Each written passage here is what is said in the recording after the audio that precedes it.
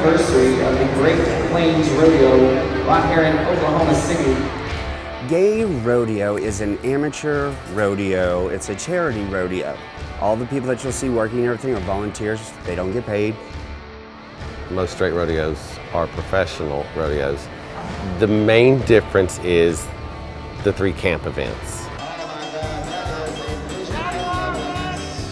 Wild Drag is probably the most dangerous event next to bulls, and people don't think it is. One of the crowd's favorites is goat dressing. And there'll be a goat with, you know, little doggy harness on down at the far end. Well, they have to run down, catch the goat, put a pair of tidy-whitey underwears on, size large, and then you have to run back across the line. I think what's just as funny is seeing how some of these queens run, you know? I like the expression on the goat, personally, when it's done, it's like, really, again? Come on, pretend it's a date. We met at rodeo, At rodeo. in Texas, In Texas, in Fort Little- Worth, Texas. a little over three years ago. He was good at chute dogging, uh, and I thought, well, a man can uh, throw down a steer and uh, quickly and, and do it good. Uh, I needed a big, strong man like that.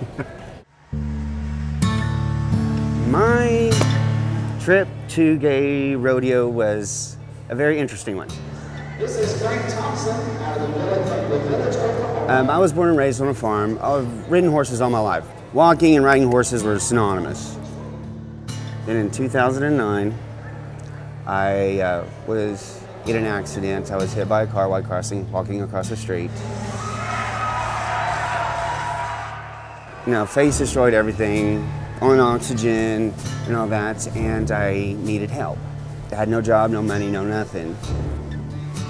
And I met the lady, Mary Arbuckle. Our Grand Marshal this year is the one and only Miss Mary Arbuckle. When my mom t- started Other Options, which is an HIV/AIDS organization, we were one of the first charity partners of the Oklahoma Gay Rodeo Association. And she just kind of looks at me and she goes, You need to get up and start living.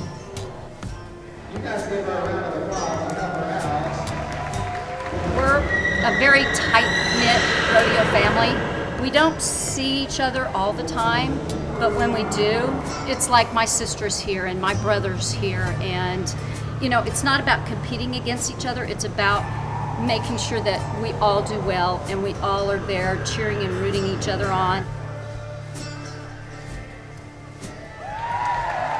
We get to teach the young gays coming up about our lifestyle because there's a lot of people that come in and compete that have never even been to a rodeo.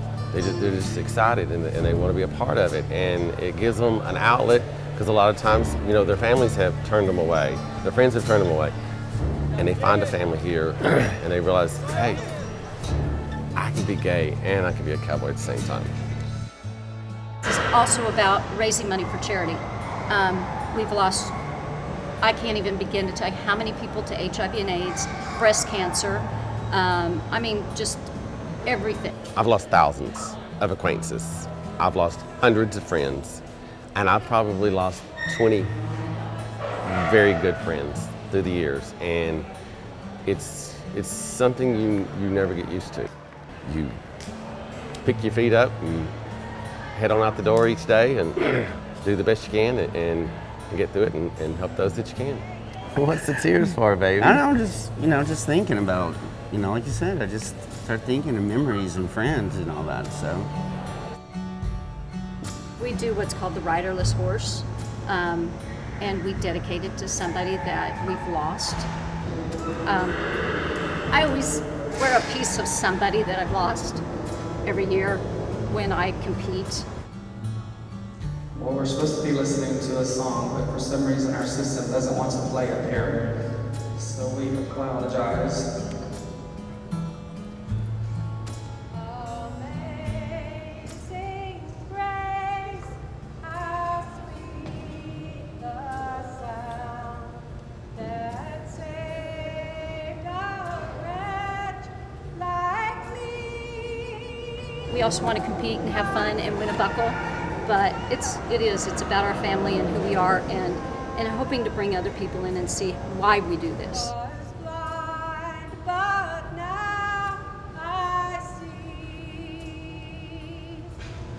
I don't know who started that, but that was absolutely